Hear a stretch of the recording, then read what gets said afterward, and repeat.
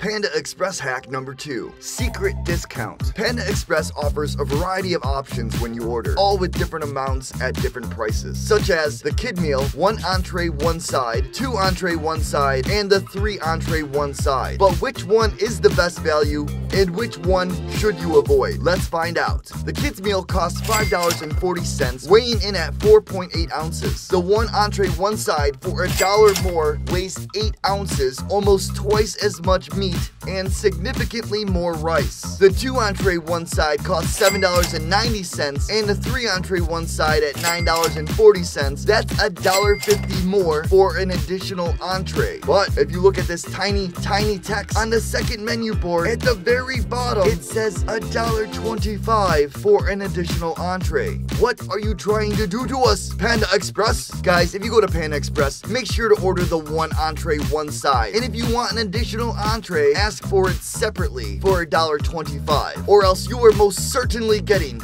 ripped off.